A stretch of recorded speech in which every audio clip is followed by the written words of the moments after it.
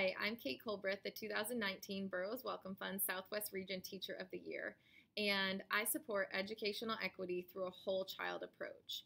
I believe that a child's academic success is directly correlated to their health and well being.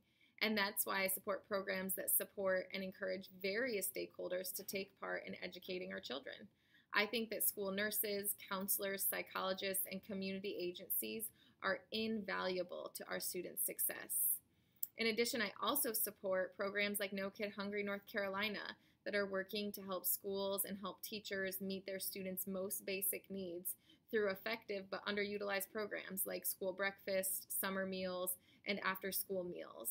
When we focus on educational equity through a whole child approach, we can break down barriers and improve academic achievement for all of our kids in North Carolina.